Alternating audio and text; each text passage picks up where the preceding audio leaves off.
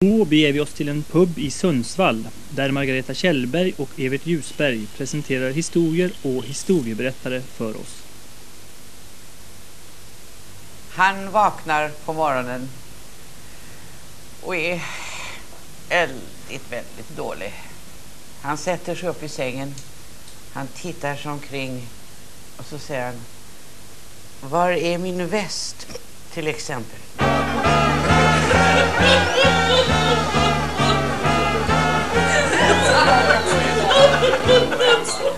Hörru du. Vet du vad det här är för något? Va?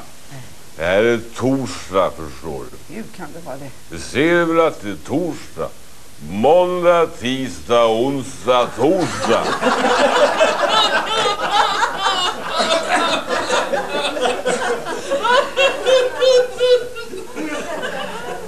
Den här då? Det var några stycken som satt på en restaurang vid ett bord och förde ett fasligt väsen. Och då kom hovmästaren fram och så sa han Det var ett fruktansvärt liv här vid bordet. Ja, det tycker vi också, hovmästaren. Kan vi få ett annat bord?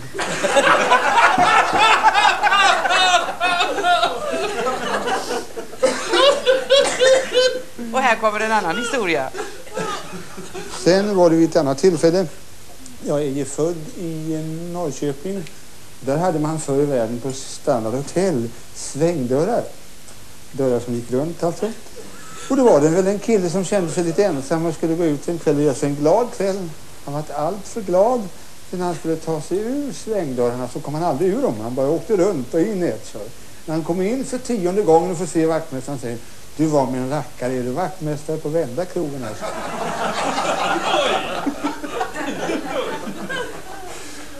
Ja, det här det ska handla om rusdrycker, brännvin. Och det är ju så roligt. Nej, det är det inte alls. Brännvinet i sig är inte alls roligt. Men det kan ju ställa till med så mycket elände med oss stackars människor.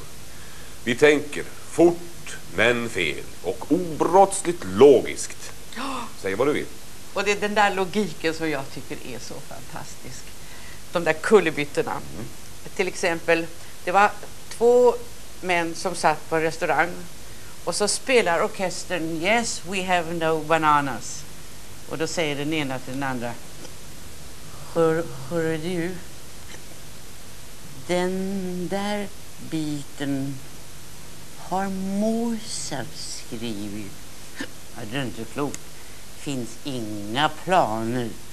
Du förstår, det, det fanns inga bananer på Mozart. Ja men, ja, men det är ju det de säger. We have no bananas.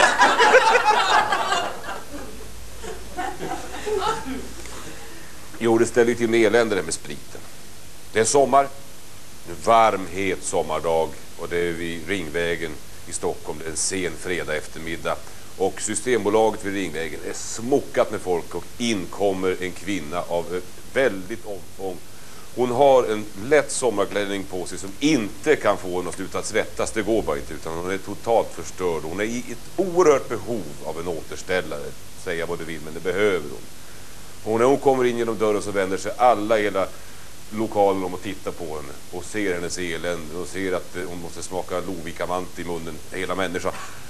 Visst, och de säger att hon har inte en chans att få ut någonting från det systembolaget i det tillstånd som hon befinner sig.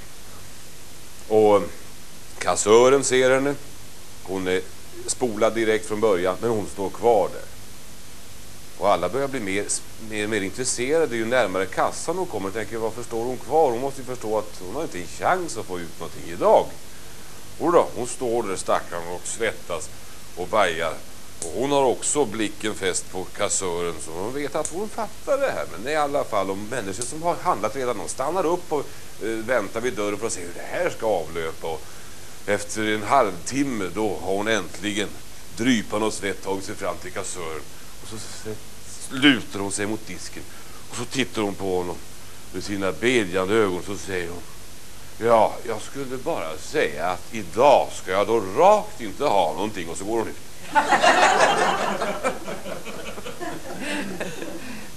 och så här kan det också gå. Det kommer jag ihåg. Det var två stycken i Storfors som eh, tänkte ge sig ut och festa på, på kvällen och det där fick de inte för sina fruar. De var egentligen väldigt hårt hållna. Men de gick väl ut och tog sina dragnaglar i alla fall. Och dagen efter då träffades de i, på jobbet och då frågade den ena vad sa din fru när du kom hem igår kväll då? Hon sa inte ett förbankat dugg, sa. Och förresten, de där två framtänderna hade jag tänkt att dra ut i alla fall.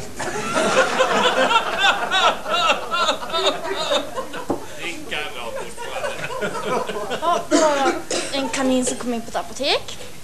Och så skulle han eh, fråga apotekaren om de hade morötter. Nej, det har vi inte, sa apotekaren. Nej, Så gick kaninen ut och så kom han in nästa dag igen och frågade Har ni morötter? Nej, tyvärr det har vi inte. Så gick han och så kom han in nästa dag igen och frågade Har ni morötter? Nej, det har vi inte. Och kommer du in en gång till så slår jag ut tänderna på dig. Ja, så kaninen och så gick han ut och så kom han ändå in nästa dag igen och frågade om de hade morötter. Då slog eh, apotekaren ut tänderna på kaninen och han gick ut därifrån. Så kom han in nästa dag igen och så sa han, har ni morotssaft?